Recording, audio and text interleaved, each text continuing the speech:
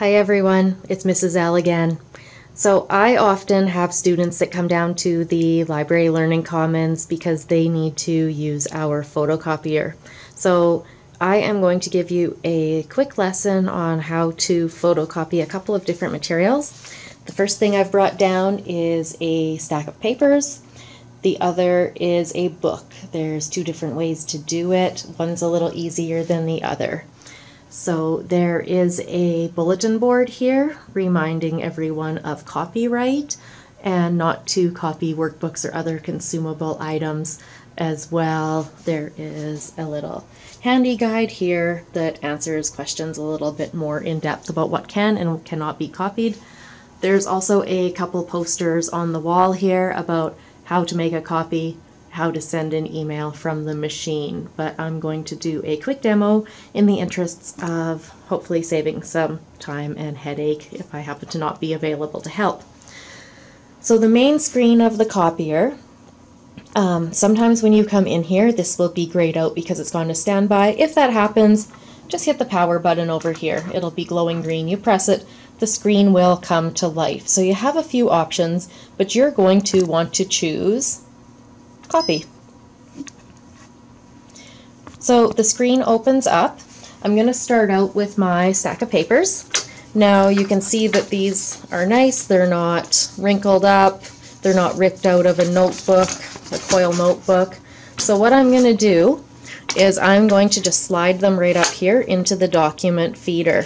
There's a handy little picture right there that shows to go alongside up and the print is up. So if they're a duplicate, it doesn't really matter which size, which way you put up, but put them in this way. Then I'm going to come down to my screen. The first column we could see here is reduce and enlarge. So we're not changing the size of this copy, so we'll leave that as is. Our paper supply, if our paper is up here in the tray, we are just going to leave it at auto. The printer will pick that up by itself.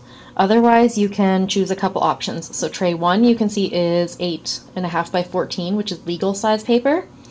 Or tray two is 11 by 17, which is tabloid. Essentially, it's two letter size sheets of paper side by side. Or tray three and four are just regular letter paper. We're also going to have to choose whether we are doing single-sided copying or double. So these are single-sided pages. There's nothing on the back. So we can just leave it here at one to one. Say this was single-sided and we want to double-side them, we'll go one to two.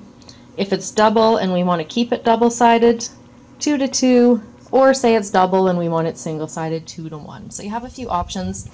There's also options over here for stapling and this machine will hole punch as well. To keep things simple, we're not going to worry about those things today. So the, our paper is loaded. We've chose our settings. The last thing we need to do is figure out how many copies we need. So I'm going to choose two copies by pressing the number two.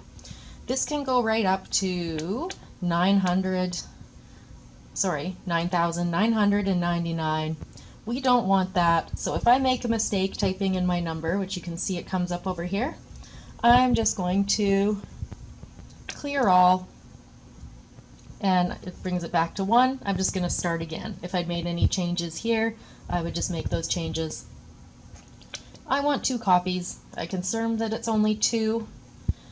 I'm just going to come over here. I'm going to hit the start button.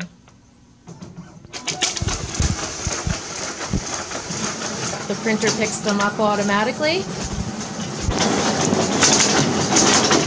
And my printed pages are going to come out here at the end, so I can pick them up as soon as they're done.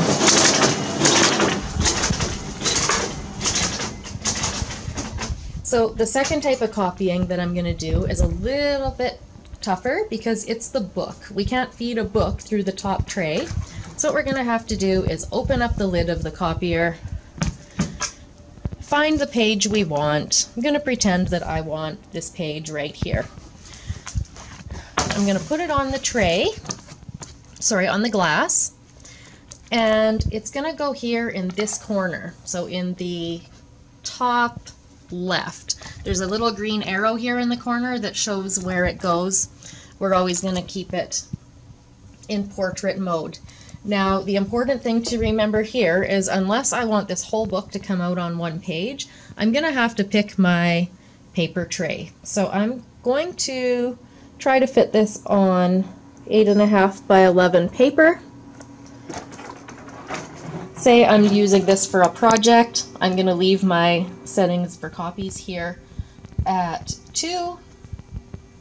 I'm simply going to hit start holding the lid down a little bit so that the book is tight to the glass.